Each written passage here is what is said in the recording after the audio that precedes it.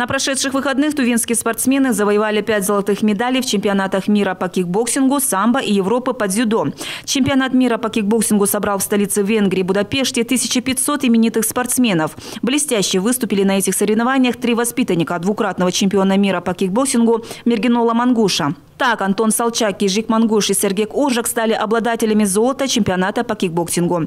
А Саян Хертек стал чемпионом мира по самбо весовой категории до 57 килограммов, одержав победу в решающем поединке над таджикским самбистом Ахмалидином Каримовым со счетом 5-0.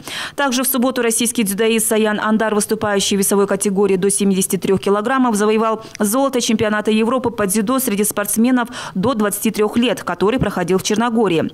Молодой спортсмен в финальной схватке оказался оказался сильнее Акила Гджакова из Косово. Бронзовые медали в этой категории достались спортсменам из Турции и Великобритании.